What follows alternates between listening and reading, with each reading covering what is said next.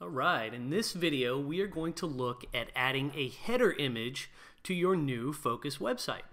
So the way we're going to do that is we're going to visit, we're in the thesis admin here, which is inside the WordPress admin. We're going to visit the skin menu and we're going to click on header image. Click this green button to select a header image from your WordPress media gallery. And we'll pick one like this one right here. Click set header, header image and there it is. So after that is set, we're going to visit our site hold shift and click refresh to see our changes and boom there is the header image. A um, couple things to notice here. Right now the header image is appearing beneath the site title and tagline in the header uh, and it is also not clickable. So we can actually control some of the aspects of this and we've got some options and we will do that now. So back in the thesis admin we're going to click on skin go down to content and display and quick quick note here about the way this stuff is set up and the way these options pages work. So content and display is for turning on and off items that appear in your templates. Uh, it's an easy way to turn on and off certain items or to, to adjust the behavior of certain items. Uh, the top half of the page, the display options, are specifically for that turning on, turning off kind of thing. Turn on, turn off with some various other options, which we'll go into in just a second. And the bottom half of the page is for any particular item uh, within your uh, within your templates that has editable options. So, for example, uh, we'll go to the blog page here. Uh, each item that appears on your blog page is considered an article. Uh, okay, and it's it appears within what's called a post box. So we could click on this and there's you know one option for the uh, schema, the markup schema that gets conveyed in here. So this is one way you would go go in and, and edit very granular options if you wanted to. Just just saying that for your edification here. Probably not going to want to do that in most cases. Um, if you watch my previous video about the adding a logo to your focus site, uh, we went into the site title here and edited an option.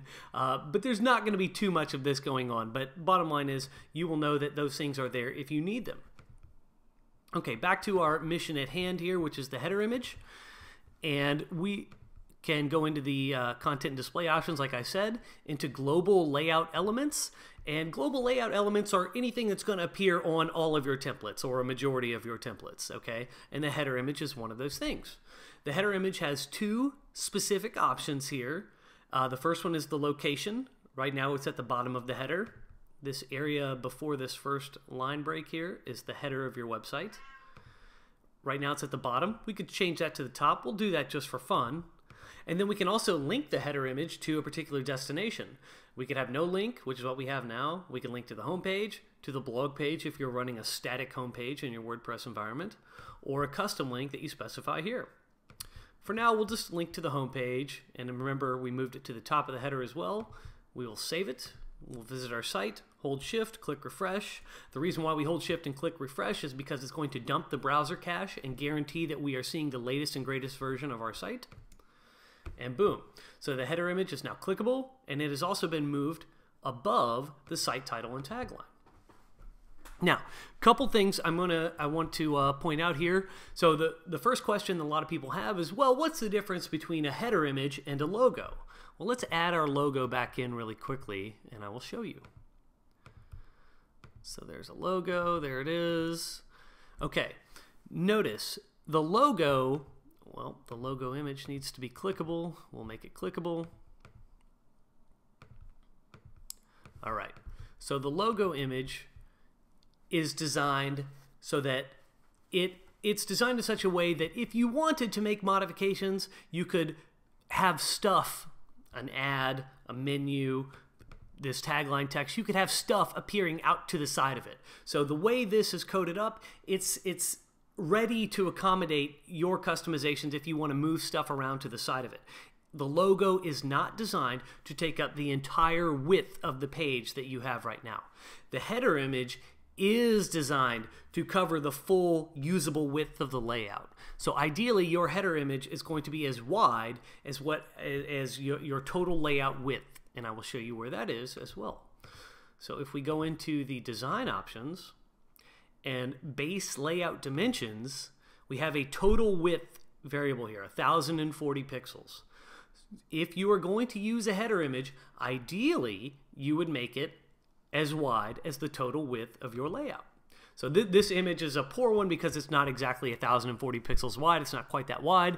But if I were really going to be serious about doing this and adding a header image to my site, I would make sure that this image is 1040 pixels wide or larger because it will be shrunk into the 1040 pixel wide area when it is ultimately displayed on your web pages.